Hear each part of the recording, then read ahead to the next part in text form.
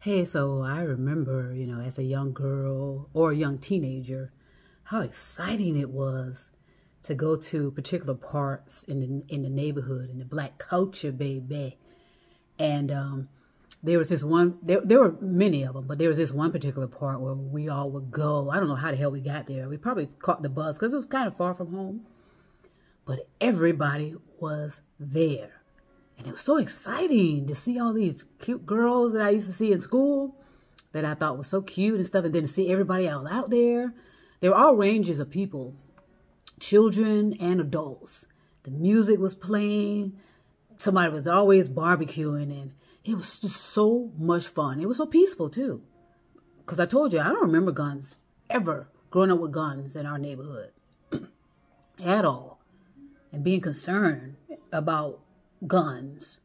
Um, yeah, they were arguing. People, we always argue. That's what. That's why I said people don't understand our culture. We're always going to be arguing and going back and forth, back and forth. But then that's the end of it. I don't. So guns were introduced into the community, just like you know, just like Ronald Reagan introduced certain things. So, I mean, it's all. It was all. There was always a master plan, a master plan. There was always a master plan. But anyway, I just remember how I look forward to that because, of course, when we were in school during you know during the week, you know, we had to behave a certain way and we had to get to our classes and this and that and the other. I don't ever remember black students to my uh, I don't even remember any of us fighting and all this and that and the other. You know, I was going to I when when young okay when young white boys would bother me, okay when young white boys would bother me, I put up with it for so long and then once I beat him up.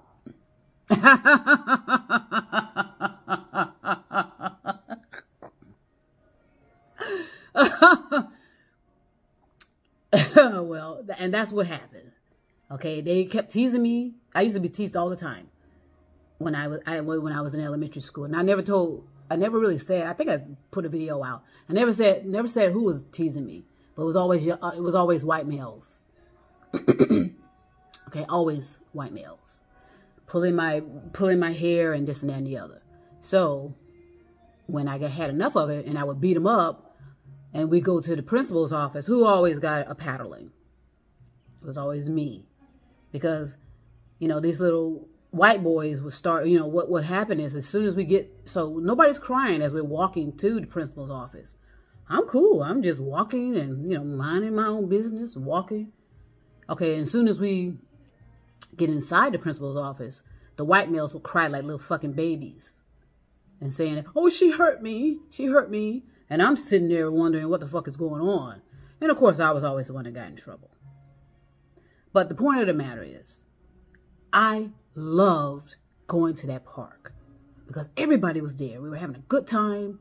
Nobody had guns, to my knowledge, no knives, to my knowledge. And it was just, it was like a family. Okay. The only issue came is when it became dark. And then that's when the police department, and keep in mind, law enforcement has always been mostly white supremacists. Okay. Always has been. All right.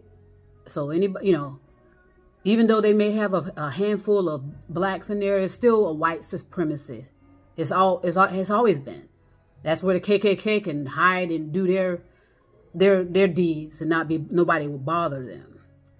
All right. So that's where the problem would usually run in with us is that we, you know, as soon as the sun went down, you know, we we, we usually knew to, to take our asses home. But sometimes people would linger because we were having such a good time. The music and oh I, I just remember how lovely that was. But anyway, so the police would show up, of course, and break us up and make us go home. And you know. And think about it. When does the police bring in a whole arsenal, a whole arsenal of force to which community that always is directed towards? Right? You know, like I said, you know,